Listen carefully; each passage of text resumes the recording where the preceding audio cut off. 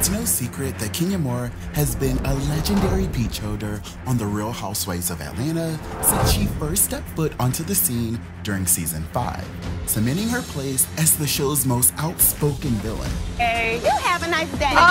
Okay, okay. Bye, Porsha. Okay, bye, Ashley. And now, after all these years of being the one that we love to hate, it's starting to feel like Kenya Moore might be considering walking away. I know how to walk away. If I'm not happy, if I don't like the way things are going, I'll just say, it's not working out. Thank you. Thank you for your time. You can stop saying that shit. I know that. I rebuke all the spirits that's in here in the name of Jesus. It's Justin Diego back with another binge-worthy video. And I've been peeping for a while now that Kenya Moore doesn't look happy on The Real Housewives of Atlanta anymore. So today, let's talk about how her latest interview with Carlos King has left me completely shook. and I will clean up the mess because you know that, that's labor laws right there. Okay, now, before I even start, I just gotta be clear and say that Kenya Moore has never said that she's leaving, so Team Twirl, calm down. Don't know what to tell you. It's my job to just keep my ears to the streets and try to peep what's going on and figure out what I think might be happening behind the scenes. And all I'm saying is, it's very clear to me that Kenya Moore is unhappy with the show right now. And after this interview with Carlos King, I'm pretty sure that the network is blowing up her phone. Okay, there is so much tea that was spilled in this interview, y'all, that I am still kind of gagged. Kenya and Carlos definitely piggyback off the momentum of the Nene Leakes interview, and y'all, it was so good. Starting first by trying to show us the real Kenya instead of that villain character that Bravo keeps trying to make her out to be. Yeah, well, that's that's the whole reason why I appreciated the top of our conversation because it's allowing people to see the real you because they only see a chopped down version of it. And what the editors choose to show. And right away, I was like, okay, I guess this is gonna be one of those interviews. Allegedly. As we're seeing this season, allegedly. uh, hey, flashbacks. because we all know that some of these girls be so disgruntled and upset and pissed behind the scenes, but not everybody is always gonna speak on it. and it's like, for what? You, you, you're killing me. Yeah. What is the point of it? What is the end result of that? What is the end game? But Kenya, she was definitely being real bold with the shade, and she is so tired of being misunderstood and underappreciated by Bravo. People think you are mean, a bitch, vicious, a villain, evil, you know, and I think you are by far the number one most misunderstood reality star. None of those words is what I use to describe you. If you follow what's going on with the Real Housewives of Atlanta on social, you already know that this clip of Kenya's interview with the King definitely went viral, where Kenya Moore gave Nene Leakes her props for being the star of RHOA and doing her thing to make the show pop. I mean, come on, that's easy. That's Nene. Mimi. I mean, come on.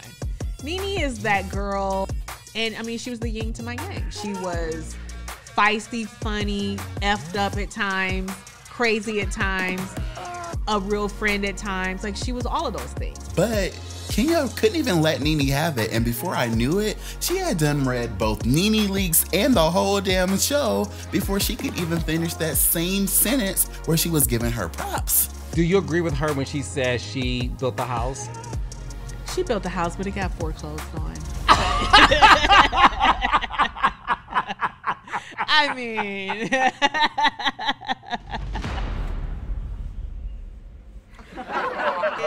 Well, who took she over the didn't pay the bills. Who took over the deed? well, And y'all already know that the comments were off the chain with Housewives fans living for the shade hollering. See, this is what we love about Housewives. They can be so sexy and classy and then throw a backhanded read out of nowhere. I was into Kenya giving Nene her flowers, and then I screamed when she said that the house was foreclosed on. True to Kenya, the slick reads out of nowhere before more fans started reading between the lines talking about, oh, Well, that explains the ratings, right? and another fan responded talking about, well, we know the show is on the way to foreclosure because the show is not what it used to be. So, you right, girl. Before this one fan definitely started stirring the pot commenting, but like Carlos said, who has the deed? No one. So if it foreclosed on them, Nene was right. It tumbled down. That wasn't a good comeback. It just proved that Nene was right. Duh. Yeah, I raised concerns a few videos back about how both Kandi and Kenya have not been getting the best edit, and I remember being shocked that Kenya Moore was liking shady tweets about production and slamming them for their editing choices publicly. But in this interview with Carlos King, she definitely did not hold back at all, at times shading the powers that be with her whole chest. When you were starting out, um, not auditioning, so I want to explain to people how it works. How well, it how it worked worked back then. then. Then. Then, because Yes. now anybody could get on Housewives and um, your rehearsed reads and being prepped and having a battery in your back. Yes, Kenya Moore and Carlos King went in about how RHOA has lost its prestige and how it's giving everything but what it's supposed to give. But it's really for these new girls to wind them up Yep, like a rag doll. And oh, I'm sorry, I forgot my line of questioning. Y'all, I was really, really shocked by this because to me, it's giving op behavior. You can't be shading your employer and like mumbling and cackling about how your own show is a flop. Unless, unless you're over it. What a mess. After that, Carlos and Kenya went in even harder about Bravo's recent decisions on the Atlanta Housewives reunion seating. it makes my stomach turn every time I watch a reunion and you're not in the first seat. Yeah. It makes my stomach turn. Yours and mine both. Okay, okay, well, let's I talk had about this it. conversation with them before. Now, this is where I got activated, and this is the kind of op behavior that I can actually stand behind because I feel like Bravo has been gaslighting us for years, acting like the reunion seating arrangements don't mean nothing when we know it does because we not slow. And Yeah. I was like, you would never move Nene seat. Even and don't tell me it's about story. It's not. Because because at the end, it's not. it, it's not. It's not about story. Okay? It's about who are the leads of the show. Y'all, I was so happy that both Kenya Moore and Carlos King, who was a former Real Housewives of Atlanta executive producer, literally confirmed that we are not crazy.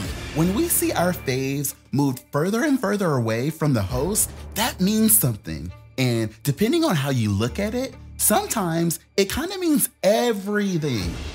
I think it's a mistake. And Do you think it's a message to you? if that's the case, then every season they do that is a message to me. I mean, the message is maybe my time on this show has been as valued as it should have been, as it should be. Woo, y'all, this tea is piping hot. And I'm like, Did I say that out loud? Did I say that out loud? Allegedly. Ah, yes! I just feel like I just know that Kenya's phone is blowing up right now, and Bravo is pissed. And honestly, I'm surprised the interview is still up. You think you are? No, whoa, whoa, whoa, whoa, whoa, whoa, whoa, whoa, whoa, whoa, whoa, no, no, no, no. I feel like Kenya is doing the same thing that Porsha Williams did before she announced that she wasn't coming back. And y'all was like, oh, Justin, you doing the most. Porsha ain't going nowhere. And then boom. So all I'm saying is stay woke.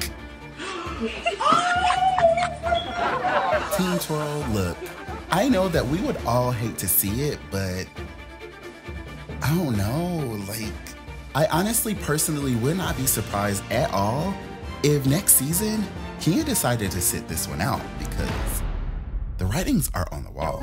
Comment right now and tell me what you guys think about all this. Do you think that is cool that Kenya Moore low-key sat down with the ops and just spent two hours of her time shading Bravo, her employer?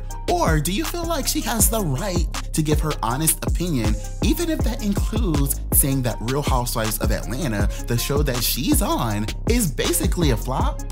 And also tell me what else you enjoyed about Kenya's interview with The Key. And be sure to watch the full interview on Carlos's YouTube channel, child, because when I tell you, there is so much more tea. Thanks so much for watching this video all the way to the end. I really had a really great time making this one, so be sure to like this video and join the conversation below in the comments if you had a good time as well. Thanks again for watching. I will see y'all shady villains on the next one.